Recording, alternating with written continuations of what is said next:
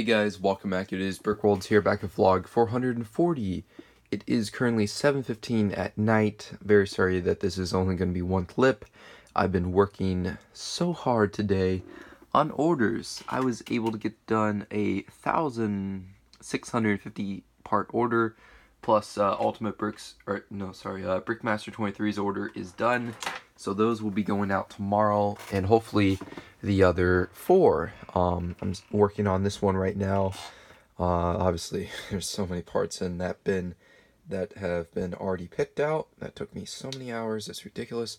I'm on the Browns currently, and I should hopefully only have these three bins left. Or, sorry, four bins. So, yeah, almost done. Hopefully, it won't take me too much longer.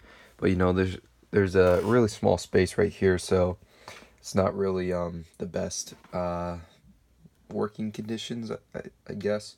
If the table went all the way over there, I think it might be better, so I can have like this, uh, the keyboard pushed all the way over there, so I can have like more space to pull out parts instead of like right here. But that is okay, gotta work with this. I've already taken off all the um, parts to the store.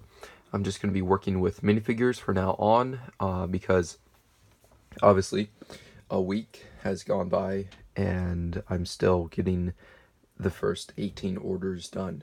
So yeah, this really stinks and I've already apologized to everyone about this. Um, just almost there. Four more orders and then I'm done.